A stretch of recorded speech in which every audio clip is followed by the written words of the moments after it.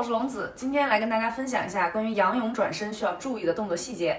仰泳滚翻最重要的是要清楚自己距离滚翻前的动作次数，以五米旗为参考。没有五米旗的情况下去找到一个固定的标识物作为你的参考，比如天花板的某个灯或某样物体。切记不要在滚翻前出现头部乱动、乱看，并且减速的技术动作。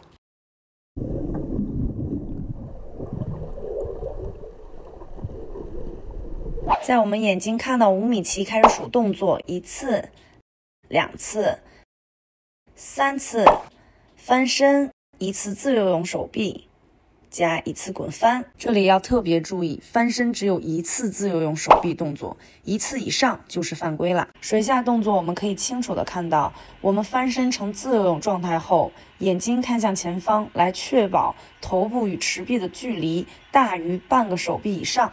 同时保证双手推直至身体两侧，快速滑行，再做滚翻动作。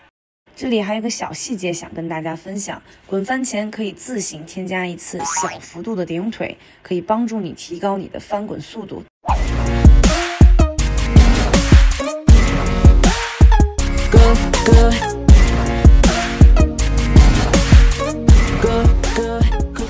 这节课就到这里了。我是龙子，喜欢我记得关注我，我们下次见，拜拜。